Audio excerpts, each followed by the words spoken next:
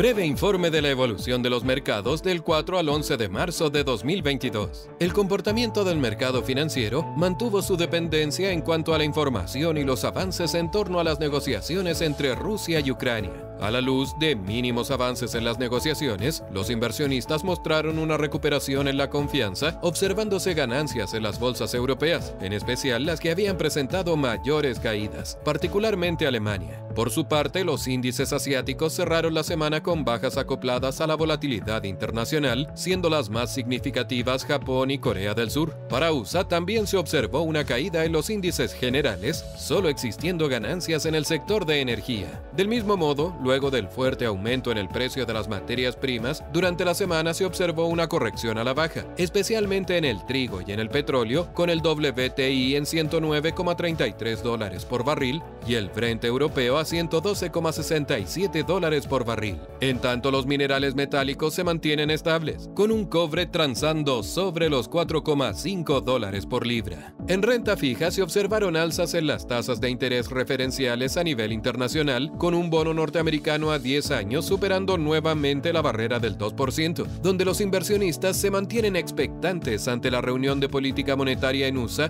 donde se espera el inicio del proceso de alzas en las tasas de interés, dado el rápido avance de la inflación. Paralelamente, los instrumentos europeos se acoplaron a esta tendencia alcista luego del anuncio por parte del Banco Central Europeo respecto al término de los programas de estímulo monetario. A nivel nacional, el resultado de la encuesta de expectativas económicas del Banco Central presenta el nuevo escenario de inflación estimado por los analistas, cerrando en 5,3% en 2022. Considerando el impacto del fuerte aumento en el precio de los combustibles desde el segundo trimestre y alejándose de la meta fijada por el Banco Central a 24 meses, con una inflación esperada de 3,7% frente al 3% establecido. Esto a pesar de la sorpresa a la baja para la inflación reportada por el INE a febrero, con un avance de 0,3% mensual y acumulando una variación de 7,8% en los últimos 12 meses, siendo el ítem de mayor relevancia el aumento en la inflación core, con una variación de 0,7% mensual y acelerando a un 6,5% interanual.